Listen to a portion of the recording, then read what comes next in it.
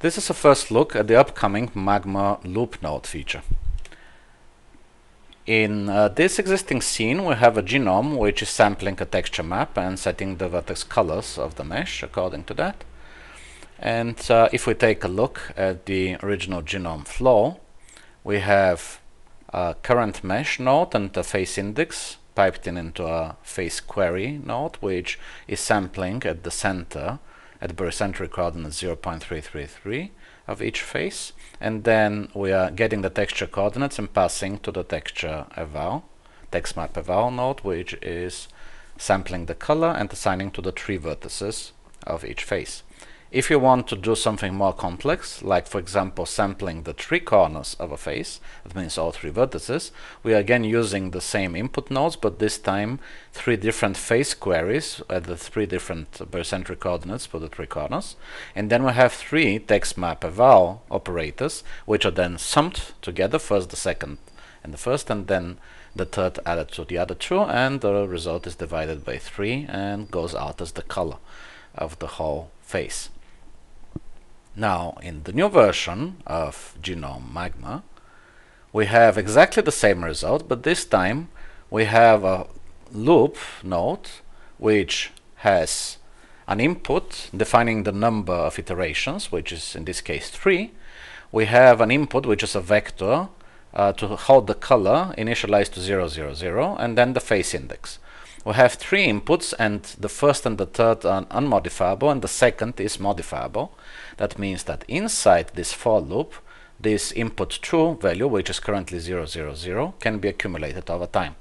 We have the iteration index, which is compared against the number of iterations, and as long as it's less, the for loop will be repeating again and again and again.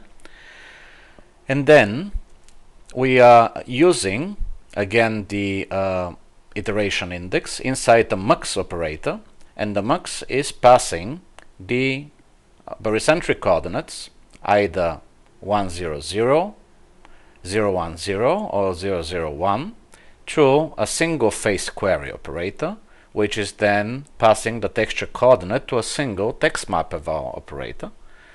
And the color of that is being sampled in the three corners and added at each iteration to the previous value of the input true, which is the mod modifiable input. And then that result goes out and in again multiple times, in this time three times, and the resulting accumulated value is divided by the number of iterations converted to a float, and that gives us the average color. Now if we change this uh, number of iterations to only one, only the first value will be taken and you notice that when multiple faces happen to share the same vertex as their first vertex, we're getting large polygons, which we weren't getting before. We were getting individual triangles because we were sampling the center of each face. Now we're creating much more interesting result. But if we would enter 0.3333 in each of the x, y, and z barycentric coordinate components, we're going to produce exactly the same sampling at the center of each face as in our original um, genome modifier. Now, we could modify this setup easily to do four iterations instead of three. We'll pass the fourth case to be the actual center of the face and we'll set the first to be 100, the first vertex. And now if we go out and change the number of iterations to 4, the fourth iteration is actually going to sample the three corners and the center of the face, sum them together, divide by 4 and output the result. Now we have a much more universal flow where the result can be set to be taken from only one vertex, two vertices, three vertices, three vertices and the center and so on.